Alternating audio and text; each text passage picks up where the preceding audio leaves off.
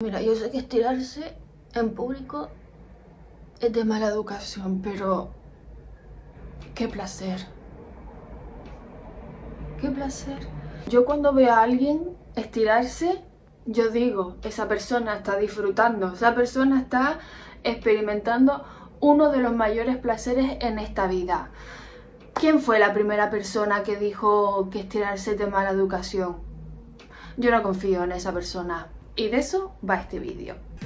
La quedó bien, ¿eh? Hola pequeños y pequeñas, ¿qué tal? Bienvenidos un día más a mi canal. Hace un par de días le vi a Abril Das Makeup un vídeo que se llamaba No confío en esto. Y dije, uy, me mola, me mola, voy a copiarle la idea que por cierto, si no conocen a Abril, se las recomiendo muchísimo, es una maravilla de mujer, es una maravilla de canal, hace vídeos de maquillaje, ropa, hauls, hace casos, les voy a dejar su vídeo en el que yo me estoy copiando y eh, su canal porque de verdad, o sea, es brutal, brutal, brutal, me encanta cómo narra los casos porque encima es periodista y sabe cómo investigar y sabe cómo contar los casos tras se maquilla. No te distrae en absoluto diciéndote los productos que va a utilizar, ¿sabes? Como que no te corta el rollo. Y de verdad es una maravilla, así que se los voy a dejar en la cajita de, información. Y bueno, el vídeo se trata de cosas, personas eh, en las que no confío no, no confío, eh, yo estoy de acuerdo con las que dijo Abril, yo voy a decir otras cosas y en este caso voy a decir eh, cuatro. Tengo más, si les gusta este tipo de vídeos me lo dejan en comentarios y así yo hago más porque yo empecé a apuntar cosas en las que no confío, ¿no? Personas que no confío, cosas en las que no confío y eso luego se convirtió en cosas que no soporto. Entonces es una mezcla. Un rebelde, me gusta romper las reglas. Quiero decir que esta es mi opinión y lo que yo pienso. Si estás de acuerdo conmigo, guay. Si no estás de acuerdo conmigo, guay. Me lo puedes dejar en comentarios, lo que tú piensas, lo que no, y todo ese tipo de cosas. Y también en cosas, personas en las que no confías. Así que en los comentarios escribe que yo te leo y, y te contesto. Así que sin más dilación, vamos a empezar. Voy alternando una cosa que no confío, una cosa que no soporto, una cosa que no confío, una cosa que no soporto. A ver, la primera cosa en la que no confío es cuando le envían a 450.000 youtubers barra influencers un producto y todas ellas te las enseñan el mismo día o en los mismos días que tú entras a Instagram y ves todas las historias iguales porque todas dicen lo mismo, lo maravilloso que es, lo que wow, no sé qué. Yo estoy de acuerdo, yo soy de las que está a favor de las colaboraciones siempre y cuando se haga de forma honesta, no tengo nada en contra de ello, muchas personas viven de ello, pero por ejemplo cuando le mandan a influencers maquillajes cuando no utilizan maquillaje o cuando le mandan cosas para los ojos, ya sea delineadores, ya sea eh, paletas de sombras, sombras individuales y no, no, jamás en la vida la has visto tú con una sombrita, nunca. Y es maravilloso. No lo han probado, pero es maravilloso. Cuéntame más. Mira, mira, un huele huele un come come. No sé, chica, coge un, pincelito, póntelo en el ojo, no sé, para que podamos ver, ¿no? Cómo es la pigmentación y todo ese tipo de cosas. Que no te pido que te hagas un maquillaje estilo Nikki Tutorials, pero yo que sé, una sombrita, te la pones, ¿no? Y dices tú, yo no me suelo maquillar los ojos, pero bueno, para que vean la pigmentación que sí, que a ver, que las marcas no son tontas y obviamente pues se lo van a enviar a gente que tenga eh, muchísimos, muchísimos seguidores y no les importa si utilizan maquillaje o no. Ellos lo que quieren que, que promocionen los productos. Pero ¿de qué me vale a mí que tú le envíes una paleta de sombras a alguien que jamás en la vida se maquilla los ojos? Es como... Mira qué bonita la paleta. Es maravillosa. ¿Te la has visto tú alguna vez utilizar? No, no me sirve de nada y yo no puedo confiar en esa persona porque no la ha utilizado y no lo va a utilizar y que te diga, es mi nuevo libro favorito, no me lo he leído, pero es mi nuevo favorito. No lo sé, Rick, parece falso. Y cuando eh, a las influencers les envían, eh, yo qué sé, mm, cosméticos, eh, cremas y todo ese tipo de cosas para hacerte una rutina, cuando tiene piel grasa y le envía productos para piel seca y te dicen es que es mi nueva rutina, es que me encanta, mira cómo me deja la piel y tú. ¿Quieres ver la cara de estúpida? Pero no estabas diciendo la semana pasada que tenías otra rutina que era indicada para tu piel seca. O sea, vale, entiendo, ¿no? Las colaboraciones, como les digo, pero... Ya basta de estupideces. Pues chica, ¿qué quieres que te diga? Yo no, no confío, en- no, no, no, no confío en ese tipo de, de, cosas. Y pues que al final lo que consiguen, por lo menos en mi caso, es que le coja tirria.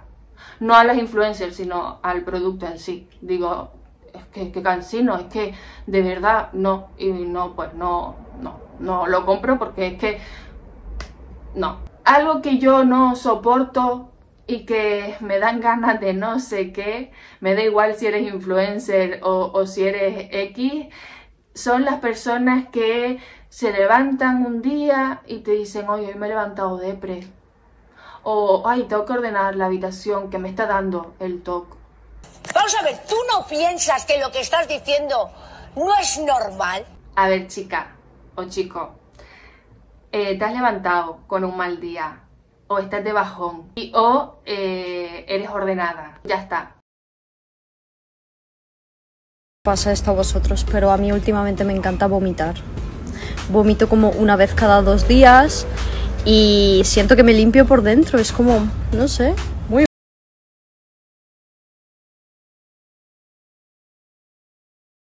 ¿Sabes lo que es sufrir depresión, TOC, que es trastorno obsesivo compulsivo o cualquier otro tipo de trastorno que se utilice de forma muy random en la vida? ¿Sabes lo que realmente?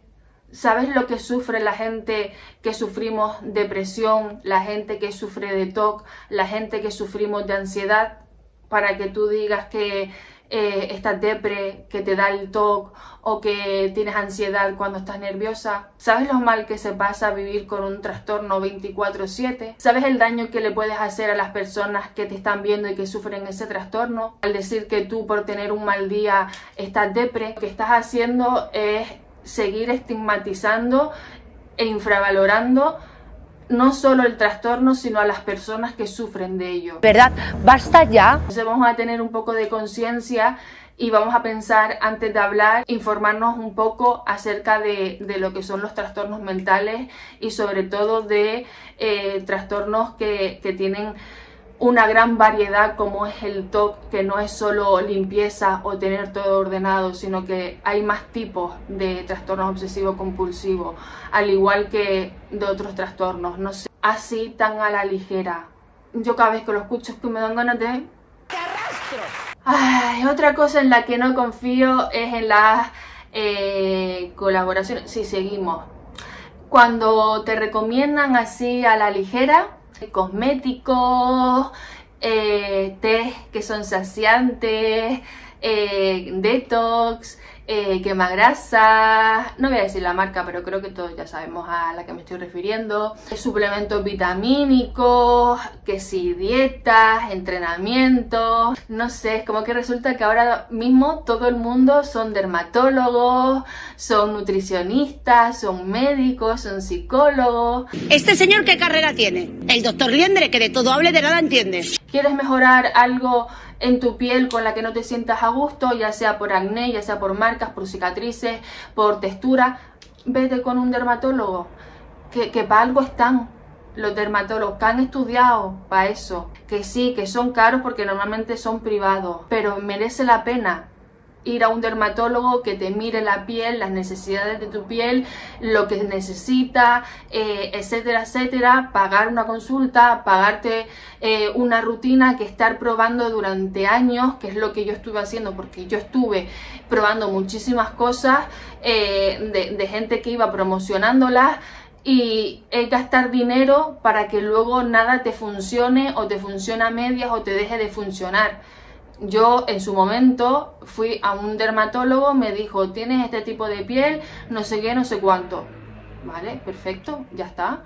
Si tengo alguna duda, voy con un dermatólogo o hay cuentas en Instagram y en YouTube de dermatólogos, de químicos que saben de los componentes, de, de gente que ha estudiado y, y que son eh, especialistas en eso. Por ejemplo, yo les voy a dejar en, en la cajita de información que siempre se les recomiendo a Laura Bey, que es una química cosmete- cosmetóloga. Bueno, ya me entienden. África Montejo te mira Lindsay, te lo eh, desglosa para que tú lo entiendas y es gente que está preparada, que es gente que ha estudiado para eso y ya con el resto, tú si te rompes una pierna y te duele, tú vas al médico a que te mire, que te haga una radiografía, que si te tienes que operar porque por el hueso te tienen que poner. Pues es exactamente lo mismo. Si tú tienes algún problema a nivel eh, físico de piel o eh, internamente, ya sea porque retienes líquido, porque te hace falta algún suplemento vitamínico, porque te sientes débil, vete a un médico, le dices, mira, me pasa esto, esto y esto. Y que el médico diga, vale, pues voy a mandarte una analítica a ver cómo estás, o eh, voy a explorarte, o no sé qué, no sé cuánto, y de ahí que ya te mande productos o, medicación necesaria para ese tipo de cosas. Té saciantes, bébete un litro de agua, verás tú cómo te vas a saciar igual.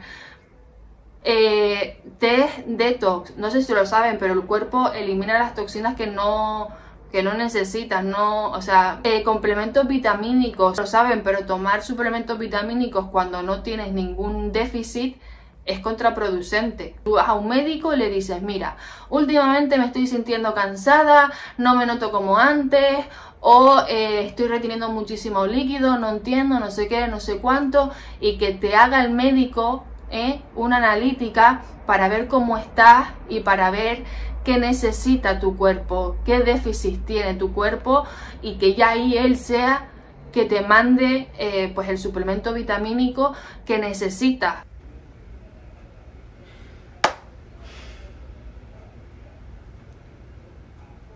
Sea, que a mí me parece muy peligroso eh, porque no sabes las personas que, te están siguiendo y eres una influencer, vamos a hablar de, de, influencer, ¿no? Eres una influencer, influye a la gente. Hay mucha gente que te ve, entonces creo que hay que tener mucho cuidado con ese tipo de cosas porque no sabes lo que la persona que está al otro lado de la pantalla, si es alguien muy inseguro, si es alguien que a nivel eh, psicológico no está pasando un buen momento y que confía y que tal, no sé, creo que en esos temas en los que eh, se habla de salud física, eh, psicológica, X, lo, creo que lo más adecuado es decir, vayan con un profesional vayan con un profesional que sí, que sé que um, los influencers y todo esto viven de las colaboraciones, pero es que sinceramente es tu salud la que está en juego. Y por último, algo que no soporto y que si me sigues de hace tiempo, pues ya sabrás a lo que me refiero, a la gente extremadamente feliz. ¿Sabes la película Inside, la de las emociones, la alegría? No, me cae mal. Y la gente muy positiva. No, no, no. ¡Sé positiva! Mira, yo entiendo y yo sé que hay gente positiva, ¿no? Que le ve el lado bueno a las cosas y todo, y todo esto, pero que es realista. ¿eh? Yo, por ejemplo, me considero una persona realista tirando para negativa. Quizá por eso no. ¿Sabes? Pero es que también yo pienso que pensar en lo peor de una cosa, si luego pasa lo contrario, la alegría es mayor. Y si luego pasa lo que lo que tu negatividad te estaba diciendo, pues ya, pues como que ya lo, lo ibas, ¿no? En plan asumiendo, no sé, a lo mejor es para autoconvencerme. Pero no estoy todo el rato, ay, como la tristeza de la película esta. Sé positivamente que te vas a perder. No, es que están, sobre todo, mira, me voy a enfocar en redes sociales, sí, seguimos con redes sociales, porque ¿dónde más lo veo? Eh, la positividad tóxica, el que están tan empeñados, pero tan empeñados en enseñar que la vida es maravillosa, la vida es perfecta, todo es súper guay, paz y amor, felicidad, buenas vibraciones, eh, que estás pasando por un mal momento, no pasa nada, tú ponle actitud, tú ponle eh, empeño, eh, que tienes que hacer cosas, querer es poder, que no pasa nada si estás en un mal día, que todo es ponerle actitud, tienes que expresar tus emociones porque si no te, te da cáncer. Esto ya de hace tiempo es viejo, pero amiga. Y hablo de la gente que constantemente está con esos mensajes de todo guay, todo tal, todo no sé qué, porque hay gente que sí que hace eso, pero cuando está en un momento pues malo de su vida, pues obviamente no está en plan de uh, uh, uh sino hablo de la gente que, que obvia o bloquea las emociones negativas o el malestar y, y, que aún así sigue en plan, wow, wow, wow, felicidad, amor, paz, tal, no sé qué. Pero yo creo que hace más humano a la persona que en redes sociales, además de mostrar ese lado eh, guay, maravilloso, ¿no? Eh, que también muestre que no siempre, no 24/7 durante los 365 días del año es todo aquí, sino que también hay momentos en los que estás aquí y que no pasa nada, que no te pido que me cuentes tus tragedias, porque he escuchado de, de varias influencers de, no, es que yo eh, veo esto solo para eh, entretener a la gente, no para contar mis dramas, ni no sé qué, y es en plan, sí, por una parte sí, entiendo, pero creo que también es necesario ver a esas personas a las que tú ves y que de cierta forma tú puedes influir a las que te están viendo eh, a normalizar eh, que no todo es felicidad, no todo es guay, no todo son viajes, no todo es tal, no todo siempre es felicidad. Que eso te hace humana, que eso puede ayudar a la gente. No te estoy pidiendo que me cuentes toda tu vida y lo que te ha pasado, pero no que muestres algo que en ese momento es irreal porque tú no te estás sintiendo como estás mostrando. Por lo menos eh, muestra que es un momento en el que no lo estás pasando bien y que ya está y que no pasa nada. Y el claro ejemplo fue durante el confinamiento, que todo el mundo se puso que se hacer pan, recetas, queques, no sé qué, hacer eh, deporte, hacer no sé qué, no sé cuánto. Y tú... Eh, había momentos en los que no hacías nada, no te apetecía levantarte de la cama y tú veías todo eso y eso te hacía sentir culpable porque, bueno, también es la, la productividad tóxica, ¿no? Eh, y es como, no pasa nada porque un día no te apetezca levantarte de la cama. El problema está cuando eso se convierte y se alarga en el tiempo, que es cuando tienes que buscar ayuda porque tampoco es bueno. No pasa nada si te levantas un día y no estás súper mega hiper feliz, súper mega hiper contento. No pasa nada si un día no muestras en redes sociales que todo es maravilloso y que la vida es perfecta. No pasa absolutamente nada. Es más, ayudas a las personas porque la gente se siente identificada y, dice, ay, no soy la única a la que le está pasando, a ella también, eh, eres una persona que, que admiras, etcétera, etcétera. Que vuelvo y repito, no te estoy pidiendo que me cuentes tu trama, pero no sé, no sé si me he explicado bien, pero bueno. Y nada, ese ha sido el vídeo por hoy. Espero haberme explicado bien, sobre todo en esto último, porque siento que no me he explicado muy bien, pero espero que se me haya entendido. En la cajita de información y por la pantalla están mis redes sociales por si me quieres seguir y que yo te mando un besazo enorme y nos vemos muy pronto en un y nos vemos muy pronto en un próximo vídeo. Adiós.